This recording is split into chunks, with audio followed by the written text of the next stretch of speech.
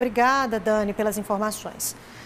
A família de uma adolescente atacada por um pitbull em Governador Valadares, no leste do estado, começou uma campanha para ajudar a jovem a arrecadar dinheiro para cirurgias que devem ser necessárias quando ela deixar o hospital.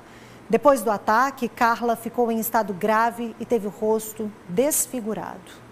A adolescente de 16 anos foi atacada no início do mês dentro de casa por um cão da raça Pitbull, que era da família e ficou com o rosto desfigurado.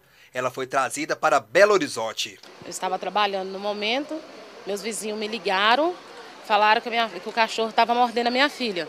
Entendeu?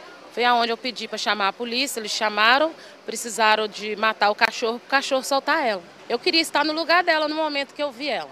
Carla continua internada aqui no Hospital João 23 e, de acordo com a família, o estádio de saúde dela é estável.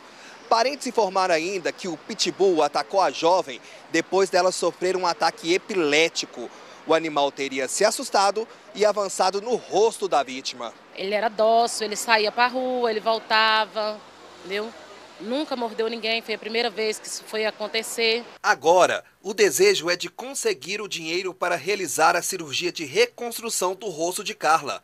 A família da adolescente já começou uma campanha e conta com a ajuda de todos. Vai ter que passar por outra cirurgia, depois tem vários exames ainda, para depois é dar um, uma certeza certa do que vai acontecer.